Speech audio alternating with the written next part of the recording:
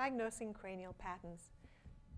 In this video, we're going to look at the mechanics of the cranial bones, more specifically of the sphenoid and the occiput, and look at the different axes and planes of rotation, both in physiologic and non-physiologic strain patterns.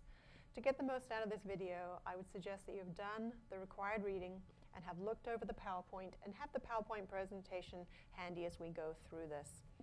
First, just a quick reminder of flexion and extension.